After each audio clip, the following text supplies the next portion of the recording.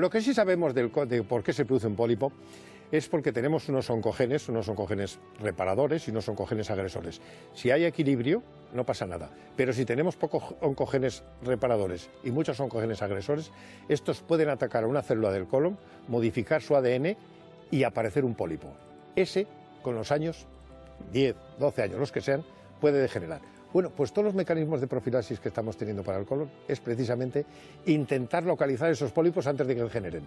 Que fíjese qué cosa más sencilla, porque le hacen usted una colonoscopia y en el acto, si lleva los factores de coagulación hechos en un análisis, en el acto le quitan los pólipos que tenga, si son dos como si son 20. Más fácil imposible.